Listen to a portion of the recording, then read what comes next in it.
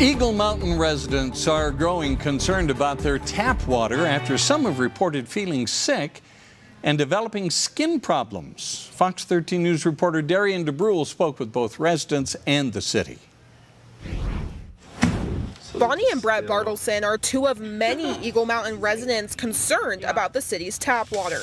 People getting sick, um, pets dying, uh, mainly fish, um, the water tasting weird, salty, thick, oily. So Brett began doing his own tests. Tested it with a silver nitrate solution and it precipitates silver chloride and um, immediately precipitated and that's uh, pretty much just shows that there's a lot of chlorine in the water.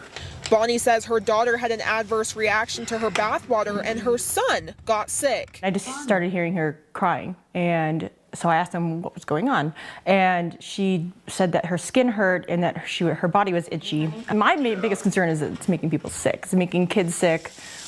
There's something wrong. Something needs to be done. Our testing is showing that the water is safe. There's nothing wrong with it. And uh, as a result of that, uh, that any uh, thoughts or perceptions that our water quality may be connected to that um, are, are, are, misguided. Tyler Moffat is the Eagle Mountain City Communications Manager. He says the change in water characteristics can be attributed to the city switching its water well source. That has induced, I guess, a change in, in flavor profile and odor profile. The U.S. Environmental Protection Agency says total dissolved solids in water should be at or below 500 milligrams per liter.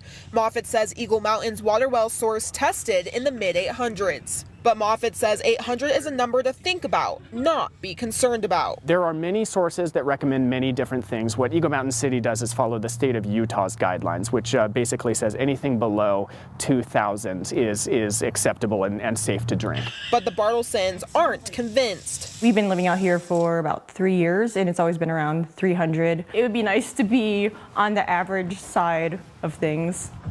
If residents do have any concerns about their water, they are encouraged to reach out to the city or to the city's water department.